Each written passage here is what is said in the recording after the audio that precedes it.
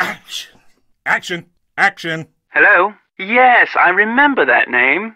Has Matthew finally put an end to that ridiculous prank of his? You've reached Alan Payne, who isn't home at the moment, which means you can either leave a message at the beep or call back. Up to you. It should be a minute or two before my ride gets here. What's on your mind? None. And if what you're really asking is, am I in on his little joke? The answer to that is absolutely, unequivocally, no. I detest practical jokes. I did not. As soon as Kyler said it would be just like Matt to disappear as a prank, I refused to join in any search for him. And when he didn't show up the next morning, I left. I did not travel all the way to Ireland to be made a fool of. Besides, nothing that I recall. Although he did say a lot of things. Not to me, but to Kyler and that other chap, Kit. And he said them quite loudly, I might add. I'd had quite enough of the three of them and rather liked having an excuse to leave. I was fine. They're the ones who couldn't seem to get along. For instance, the evening before Matt disappeared, he and Kit had a terrible row. I couldn't make out exactly what was being said, but they both sounded very angry. Furious, I dare say. In fact, the next time I saw Kit, he was sporting a black eye. And the next morning, Matt and Kyler had a go at each other. Nothing physical, mind you, and once again, I couldn't make out what was said, but I promise you, they were quite put out with each other. I was more than happy to bid the lot of them farewell, though I imagine I'll be returning to the castle before too long. Matt is bound to find his prank as tedious as everyone else does eventually. If you mean, did I get the impression that the castle was haunted or enchanted or anything like that? No. Frankly, I was too distracted by the strange human goings on to pay much attention to anything else. I mean, for three people who purport to be friends, it seemed to me they did an inordinate amount of fighting. For instance, I must be off. Nancy, it was a pleasure venting to you. Hopefully before too long we shall meet in person. Cheers. Yes, Nancy. Hello? Is this a sales call? Hi, what's up? Nancy, this is the best party ever. Translation Amazing Abs has talked to her twice. Hello, Ms. Drew. Hey, Nance, what's going on? Whoa, that was incredible. Hi, Nancy. Hi, Nance. How's it going? Hi, Nance. Forget something? We're right here. Something else? Hi, Nance. That was fast. The Dunhills throw the best parties. You should see all the awesome pool toys they've got. And everywhere you look, some cute guy in swim trunks is standing over a barbecue grilling something. I'm in heaven. So, what's going on with you? You wrecked your car? She gets in an accident and you're worried about some stupid rental car? Real nice, Bess. Well, Nancy's obviously okay or she wouldn't be calling. You saw a banshee? That's bad luck, isn't it? Not if you see a banshee. If you hear one, it means someone's going to die. Wait a minute. Why was it running? Can't banshees fly? How can the groom be missing? More like a pretty big moron. Just like the groom. Whoa. Incoming. Check it out. Oh my gosh. Sorry, we were hopelessly distracted by a truly amazing set of washboard abs. What do you mean vanished? Minky McNabb's here. In all her bikini clad, boy crazy splendor. And when she saw Ned and didn't see you, Beeline City. Ned has wisely gone into hiding. You'll be happy to know that Minky is now in hot pursuit of someone other than your BF. So what's new with you? We would say, why ask us when you've got your very own fortune teller right there in the great room? Right, George? There's an old Irish saying, when it looks like you might fail, Go see Madame Ishabelle. I know, but you get the picture. Quaint as in charming or quaint as in a borderline health hazard? You've been mixing drinks for people? Shouldn't you be doing something a little more maid of honorly? About what? And did he? A handmade doll? That's kind of freaky. Dolls are freaky, period. Who around there would be making dolls? Let me see if I got this straight. The guy thinks disappearing less than a week before his wedding, causing cars to run off the road, and making creepy dolls is funny? Not exactly best Marvin marriage material, is he? That's kind of freaky. Dolls are freaky, period. Do you have any idea who this person is? The person who ran out in front of your car. It could be someone who knows what happened to him, though. Why am I not surprised? I don't know. Sounds like a possible love triangle to me. Love triangle, here we come. Because Kit still likes Kyler and Matt knows it. Nancy, who's read practically every romance book ever written? You or me? Matt knows Kit still likes Kyler, and Matt doesn't like it. End of discussion. Crows are really smart. I bet it knows where your missing groom is. How to get inside the nursery. That makes sense. I've read they're attracted to things that are bright and shiny. How to get inside the nursery. Still, it's kind of creepy that it would come inside like that. And why is it hanging around? It is not an undercover banshee, Bess. I know that, George. But be nice to it anyway, Nance. Just in case. What do you mean by special? She's getting married. I mean, what about how a bride is supposed to wear something old, something new, something borrowed, and something blue? Would you call that a silly superstition? Yeah. It's a custom, George, practiced by brides for centuries. Customs like that are what make weddings so beautiful. You're so unromantic. I always thought shoving cake into your brand new spouse's face kind of looked like fun. You're hopeless. Oh, custom written vows are so sweet. How do you know she was talking about the wedding? Maybe she was just frustrated because she couldn't put her feelings into words. Did you ask her about them? Wait a minute. You guys aren't suggesting that Kyler is behind Matt's disappearance, are you? But it is a possibility. You two are terrible. You? Nancy, clearly neither you nor Kyler understands just what a maid of honor is supposed to do. Next time, just tell him no. You should be decorating and painting nails and picking out music for the reception and dyeing shoes to match your dress, not sheep herding. I like sheep. They're cute and woolly and help you fall asleep. George, this isn't about you, okay? Nancy, a maid of honor, should not be shearing sheep. You get to shear sheep? I am so jealous. What am I gonna do with you two? Nancy, a maid of honor, should not be shearing sheep. You got to shear sheep? I am so jealous. What am I gonna do with you two? Did the family tree have anybody famous in it? James Joyce? Samuel Beckett? Pierce Brosnan? Colin Farrell? What's her deal? Why doesn't she just walk up and introduce herself? Nancy, a maid of honor, should not be shearing sheep. You get to shear sheep? I am so jealous. You got to shear sheep? I am so jealous. What am I gonna do with you two? Hang up, Bess. They're starting. Sorry, Nance. Gotta go. They're doing chicken fights in the pool. Amazing Abs is on one of the teams. Bess, come on. See ya. Hang up, Bess. They're starting. Sorry, Nance. Gotta go. They're doing chicken fights in the pool. Amazing Abs is on one of the teams. Bess, come on. See ya. Keep in touch. Later. Call us anytime. Ta ta. The wedding's been called off, so go on back to where you come from. Walk down the road to the inn then. Give me your keys and I'll see to your car in the morning. She's sleeping. You cannot stay here. Go to the inn, I said. Now off with you. Deaf are you now? I told you you cannot be staying here. Much as it shames me to admit it, no. Languages don't come easily to me. And since I am able to do what I do without knowing Italian, I'm a mosaicist. Much as it shames me to admit it, no. Languages don't come easily to me. And since I am able to do what I do without knowing Italian, I'm a mosaicist. Much as it shames me to admit it, no. Languages don't come easily to me. And since I am able to do what I do without knowing Italian, I'm a mosaicist. Much as it shames me to admit it, no. Languages don't come easily to me.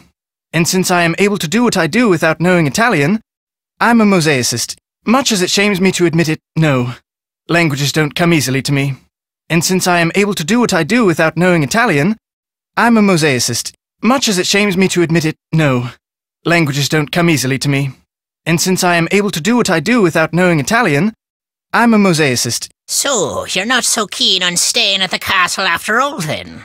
Ready to help the band play me that ditty, are you now? Ready to play some music then? The sheep are tucked away in the barn then? Not quite yet. The sheep are tucked away in the barn then? They sure are. What's on your mind then?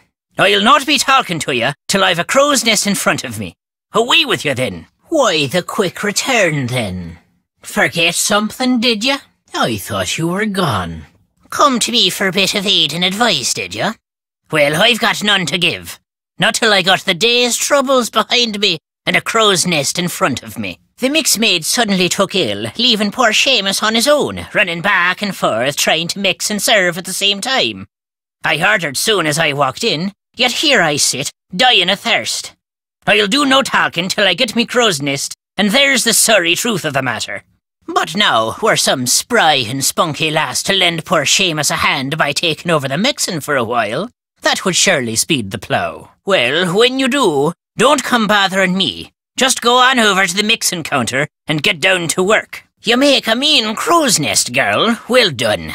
Now, I'm to tell you what happened to the Sassenach, am I? The Sassenach. The Englishman. The one Kyler was supposed to be marrying. Well, what happened to him is this. The Sidhe took him. The good people whisked him straight off to their world, they did. You'll not be hearing me call him that. All of us have a name we prefer, and with them, the good people it is. So that's what I call him, and you'd be wise to do the same. Whatever they please. He's in their world now, and he'll not be coming back. That's as much of the truth as we'll ever know. Can I prove it? Did you see him up there, lass? Does anyone see him now? Gone he is, vanished from the earth. The naught you see instead of him. There's your proof, girl. 'Tis not the first time the good people have seen fit to meddle in the affairs of Castle Malloy. Caused the explosion they did. Explosion? 'Tis not the first time the good people have seen fit to meddle in the affairs of Castle Malloy. Caused the explosion they did. The one that destroyed half the castle? Aye, the one that half destroyed the place. The man who lived there in 1944, Brendan Malloy was his name. He was a scientist, charged with making rocket fuel, people say. Only one summer night, something went terrible wrong. There was a flash, like a thousand lightning bolts. Then a huge boom sent everything south of the library flying towards the sky. Brendan, his wife, Caitlin, used to own this place, she did. Aye, and their little girl, Fiona. All three were lost to the world forever when the place blew. But the blame lay not with Malloy, it was the good people. They'd taken a shine to Fiona, is why, and they knew that little girls, no matter how much they're adored by wee folk or mortals, sooner or later, all little girls grow up and grow old. The good people couldn't bear to see this happen to their beloved Fiona, so they made full sure it never did. They have their ways and we have ours, is all. That's just the way of things. Got plans for you, they do. I meant to pocket your car keys for safe keeping on my way over here, but I couldn't find 'em. A woman, one of the good people, as alive as you and me, with wild hair almost as long as the tattered grey robe billowing up around her whenever she appears. Sometimes she takes on the form of a hooded crow, but it's the sound she makes, her terrible wailing, that strikes fear in the human heart. These ears don't work so well now. Even the pattering of rain is beginning to slip by 'em. But the situation being what it is, by my reckon, a banshee, you heard. Aye. Someone as in Matt? So, all of a sudden, you're an expert on banshees, are you then? Well, no, but A banshee it was. How they know what they know, and why they do what they do, are mysteries far beyond mortal solution. But be assured, lass, someone at Castle Malloy is doomed. Because when a mortal hears the wail of a banshee, it means someone is about to die. I've little use for any Sassenach, but I took a disliking to this one soon as I laid eyes on him. Arrogant he was, cocky, disrespectful, foolish, always touching things he shouldn't, going places he didn't belong. Worse than a stray dog, that one was. Aye, Kyler. She's different. She belongs here. It's in her blood. It's the reason she does naught but read up in the library. She'll not be leaving Ireland, mark my words. And if she winds up marrying Mr. Foley, all the better. so Kit, you like? Aye, he may talk like a Yank and live like a Brit, but there's Irish in the lad. I saw it right off. Little wonder he's in love with the girl. They'll make a fine pair. Whoa, wait a minute. Kit's not in love with Kyler. Blind, are you now? Loves her, he does indeed. He's all but wearing a sign saying so. He came to the wedding early to make sure there'd never be a wedding. Only the good people saw to that for him. Ah, the luck of the Irish. Because that room belonged to Fiona. So sweet and innocent she was. Even the good people cherished her. A heedless, slovenly Sassenach had no call to be in there. Aye, that I do. I've seen with my own eyes what goes on in there. What do you mean? No, Too many strange things happen in there for my liking. Such as? Things move by themselves. Something in one place one day will be in a place altogether different the next. But it's not ghosts doing the moving, mind you. Their room it is now. Something the Sassenach learned the hard way. Did you know? She. it ran across the road in front of me. That's why my car's in the ditch. Not till I was fifty and four did I see a banshee. To see one at your age, on your very first night in Ireland. A special lass you are indeed. There might be two dozen explanations for what you saw. But none, save one, is the truth. Do not be mistaken banshees for Santa Claus now. A warning is all they leave behind about something that's coming and can't be stopped. I've never been able to make heads or tails of 'em. Even bought me a book on Ogham runes. Waste of good money, that was. Ogham runes? All those lines. Ancient Celtic symbols they are. Runes. Spell out something.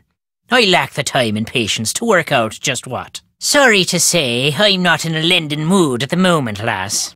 A wee bit of me favourite drum music would put me right, but the band can't be playing it because their drummer took sick.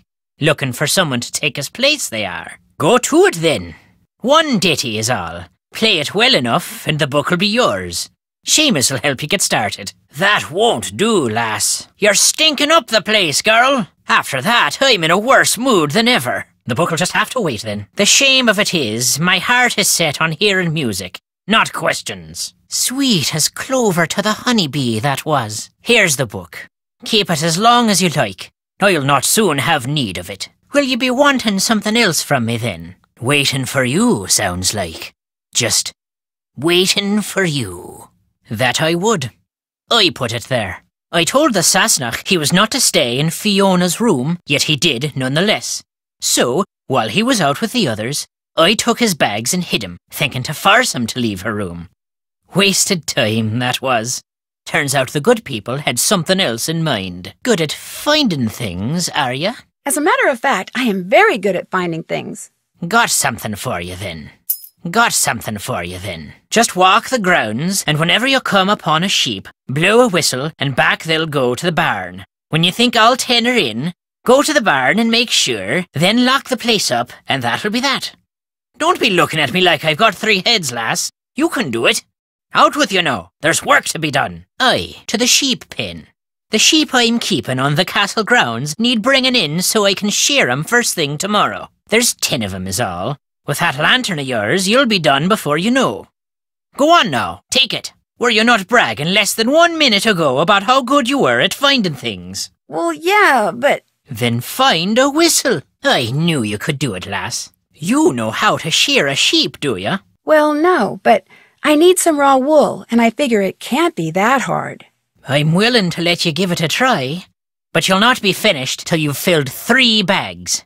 Do I have your word on it? All right then. The book there in the barn will tell you how to operate all the equipment. Oh, and to get a sheep into the shearing station, just blow this tune on your whistle. Anyone can learn to shear a sheep, lass. Do you promise to shear enough to fill three bags, is what I'm asking.